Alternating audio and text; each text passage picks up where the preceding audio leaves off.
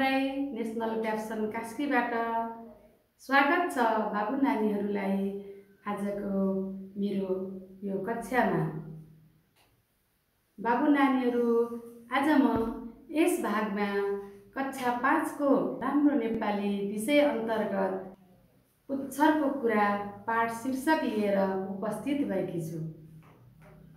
आशा छ तपाईँहरूले यसलाई ध्यान दिएर हातमा कपी र कलम लिएर बस्नुहुन्छ भन्ने। अब म तपाईँहरूलाई यहाँ केही देखाउँछु हेर्नुहोस् है त। बाबु नानीहरू मैले यहाँ केही चित्रहरू देखाएकी छु हेर्नुहोस् त।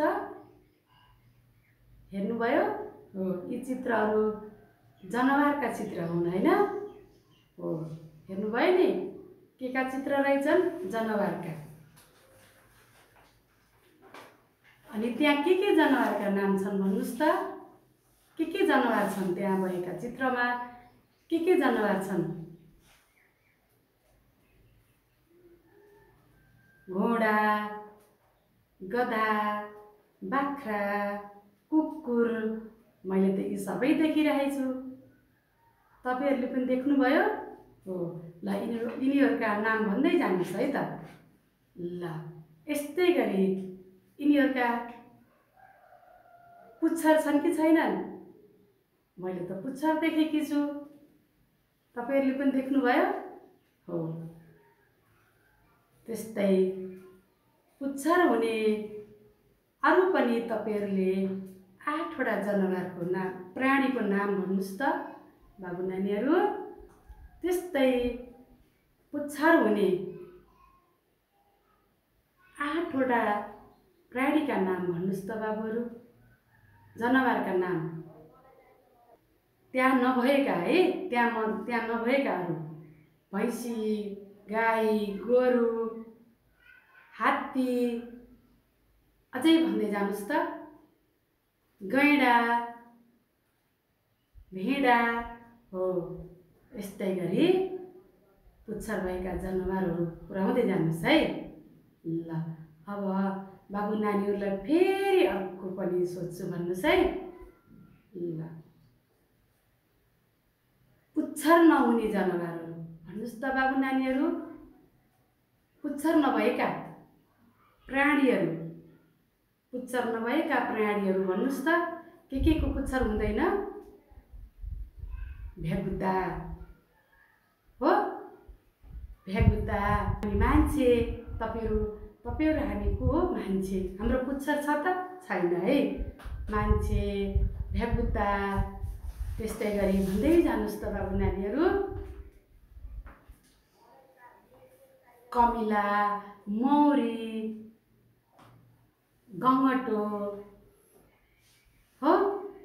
ल यी प्राणीहरूको पुच्छर हुँदैन होइन त? हामीले पुच्छर हुने जनावर पनि देख्यौँ। भन्यौँ। तपाईँले सम्झेर पनि भन्नुभयो है त्यहाँ नभएका पनि भन्नुभयो होइन। पुच्छर हुने पनि भन्यौँ नहुने पनि भन्यौँ। बुझ्नुभयो नि होइन? ल यही आज हामी यस पाठमा यही पुच्छरका बारेमा हामीले पढ्न गइरहेका छौँ। आज हामी पुच्छरका कुराहरूका बारेमा पढ्न गइरहेका छौँ। ल बाबु नानीहरू तपाईँ हामी को हौँ? मानिस हौँ है? हामी मानिसको पुच्छर हुन्छ त? हुँदैन। हाम्रो के के हुन्छ? हात हुन्छ खुट्टा हुन्छ। हातले के काम गर्छौँ? खाने काम लेख्ने काम अनि अरू समात्ने काम हो त्यस्तै खुट्टाले हिँड्ने काम गर्छौँ है?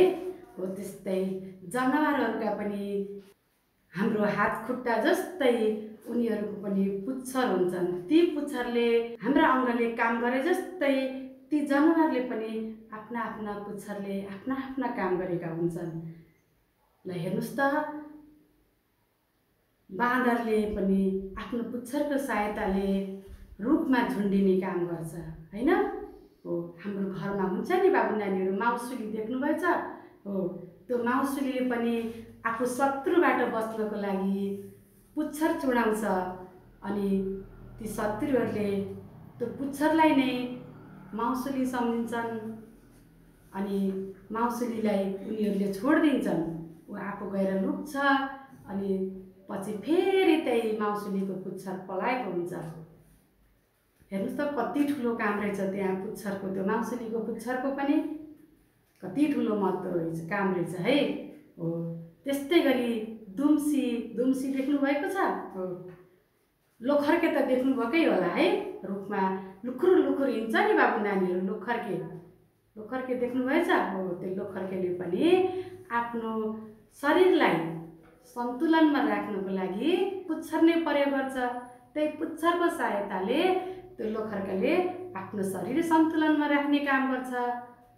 हो त्यस्तै गरी अरू जनावर पनि हेर्नुहोस् त अब बाँदरले पनि माउसुलीले पनि दुम्सीले पनि पुच्छरको सहायताले आफ्नो आफ्नो काम गरे होइन त? हो त्यस्तै माछाले पनि माछाको नि पुच्छर हुन्छ है बाबु नानीहरू? हो माछाले पनि आफू पानीमा पौडिँदा अनि अर्को दिशा जानलाई पनि माछाले पुच्छरकै सहयोग लिएर पौडिने दिशा बदल्ने काम गर्छ हो होइन त? हो त्यस्तै गरी चरा देख्नुभएछ नि चरा होइन तपाईँहरूले? हो चराहरूले पनि एउटा दिशाबाट अर्को दिशामा जानलाई त्यही पखेटा फिजाएर नै उडेर जाने काम गर्छ होइन त बाबु नानी? हो पुच्छरहरूका कुराहरू सुन्नुभएकै छ होइन? सुन्नुभएको छ नि बाबु नानीहरूले? पुच्छरहरूले के के गर्दा रहेछन् त? हो आज हामी त्यही पुच्छरको बारेमा निबन्ध भन्दैछौँ है पुच्छरको बारेमा। बुझ्नुभएको छ पुच्छरका कुराहरू? तपाईँहरूका पनि कुरा हुन्छन् नि। साथीहरूसँग कुरा गरेर बस्नुहुन्छ है। हो त्यस्तै त्यहाँ पनि पुच्छरहरूले आफ्ना आफ्ना कुरा गरेछन्। कुन पुच्छरले के गर्ने कुन पुच्छरले के गर्ने भन्ने कुराहरू जनावरका पुच्छरहरूका बारेमा यहाँ कुरा भनिएको छ। ल अब म बाबुहरूलाई यसका साथसाथै तपाईँहरूलाई अब म पुच्छरका कुराहरू भन्ने पाठ पढाउँछु है त। तपाईँहरूले पढ्नुहुन्छ? बुझ्नुभयो? पुच्छरहरूले के के काम गर्दा रहेछन् भन्ने कुरा त थोरै बुझ्नुभयो होला है। हो अब म तपाईँहरूलाई पुच्छरकै पुच्छरहरूका बारेमा बताउँछु है। ल म अब सुन्दै जानुहोस् है। म अब पुच्छरका कुराहरू पाठ पढाउँछु बाबु नानीहरूले ध्यान दिएर सुन्नुहोस् है त।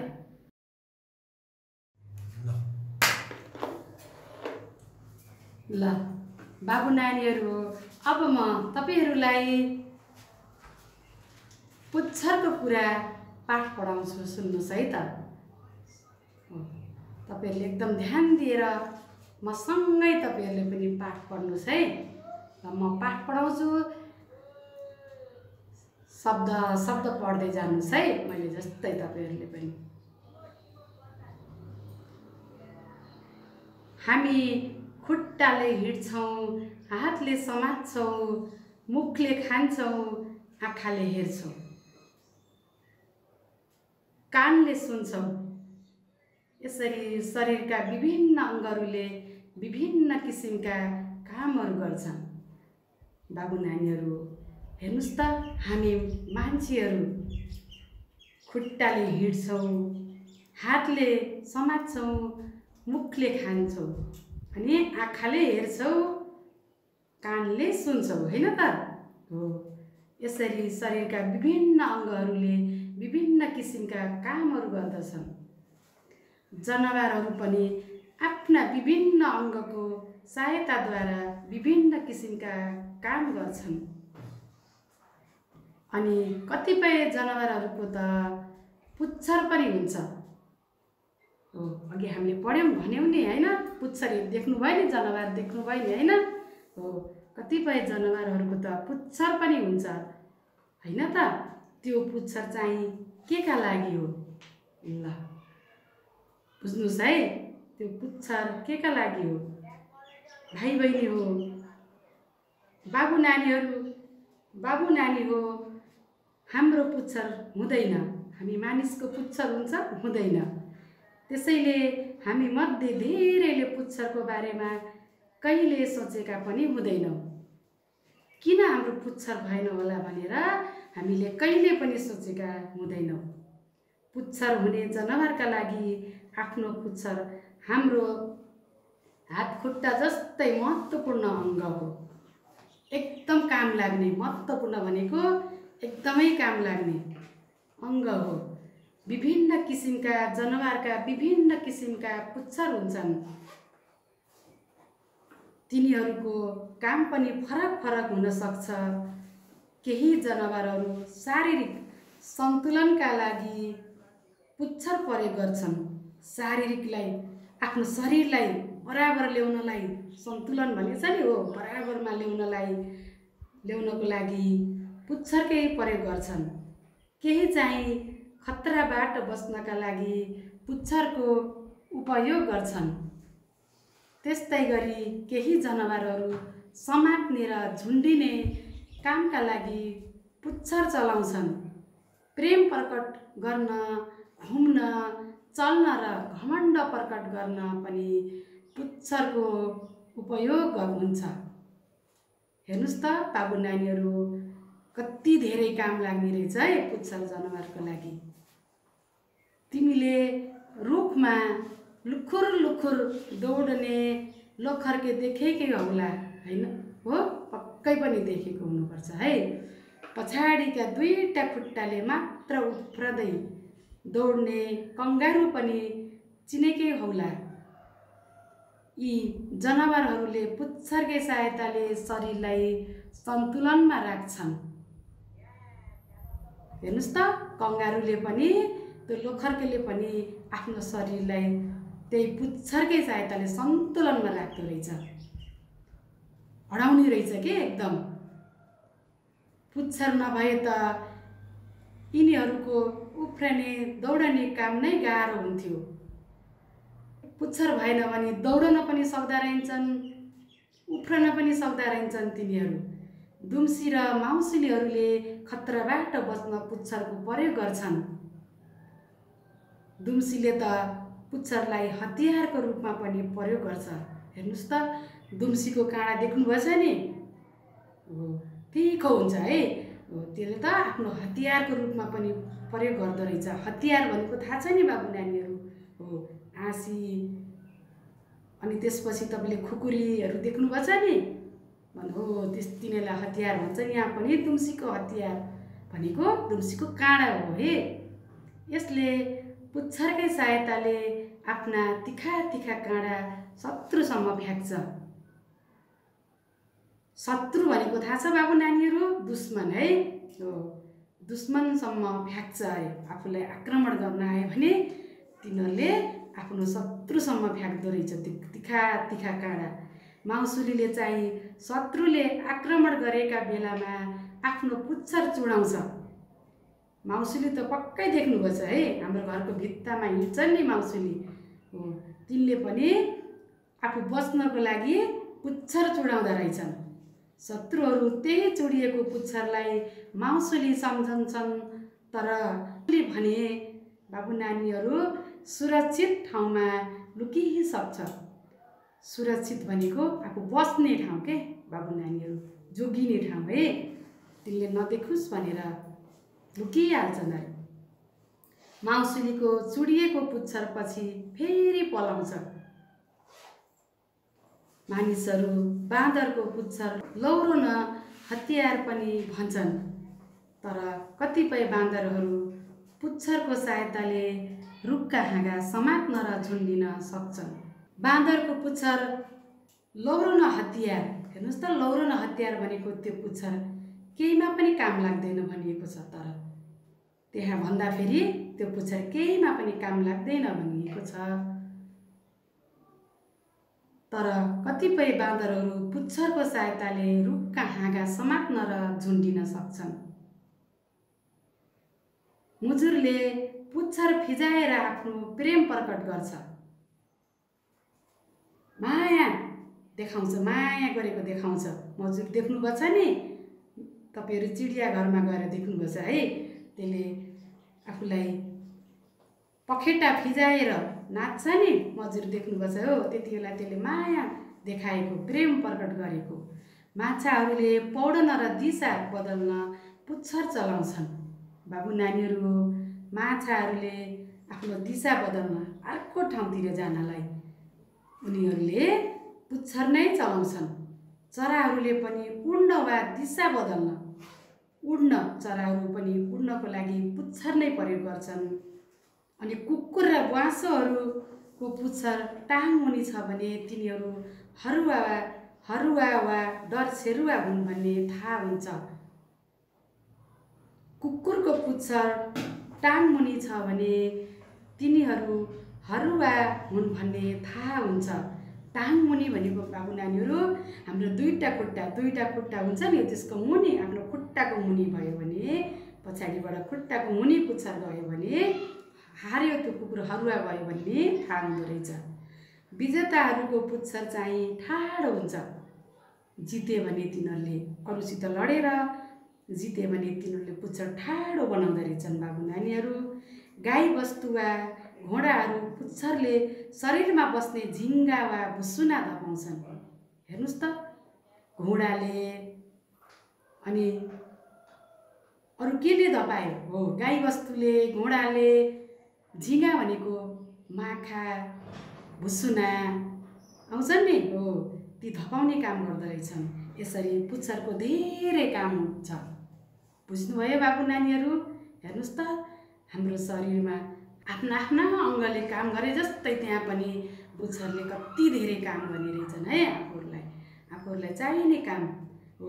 हामीले आँखाले हेर्छौँ मुखले खान्छौँ नाकले सुँग्छौँ सुँग्ने काम गर्छौँ नाकले अनि कानले सुन्ने काम गर्छौँ हातले लेख्ने काम खाने काम समात्ने काम गर्छौँ होइन त? हो। खुट्टाले हिँड्ने काम गर्छौँ।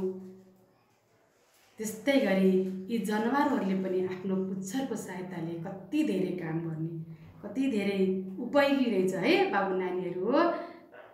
त्यो जनावरलाई पुच्छर। ल बाबु नानीहरू तपाईँहरूले पुच्छरको पाठ पढ्नुभयो होइन त? हो पुच्छरको कुरा पाठ पढ्नुभयो। त्यहाँ जनावरका पुच्छरहरूले गर्ने कामहरूको बारेमा नि थाहा पाउनुभयो होइन? हो। ल अब तपाईँहरूले त्यस्तै गरी कुनै विषय कुनै चाडबाडको बारेमा आफ्नो परिवारको बारेमा कुनै बगैँचाहरूको बारेमा लिएर तपाईँहरूले पनि यसरी नै निबन्ध लेख्नुहोस् है त। अनि आफ्नो परिवार तपाईँहरू अहिले आफ्नो घरमा हुनुहुन्छ होइन बाबु नानीहरू? हो। आफ्नो परिवारको बारेमा निबन्ध लेख्नुहोस् है।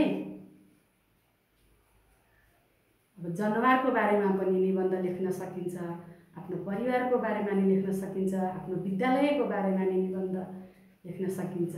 अब त केही बुझ्नु भयो नि। हो यस्तै गरी तपाईँहरूले पनि निबन्ध लेख्नुहोस् है त।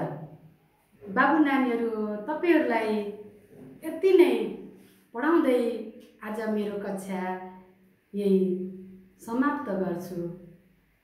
है त? ल धन्यवाद।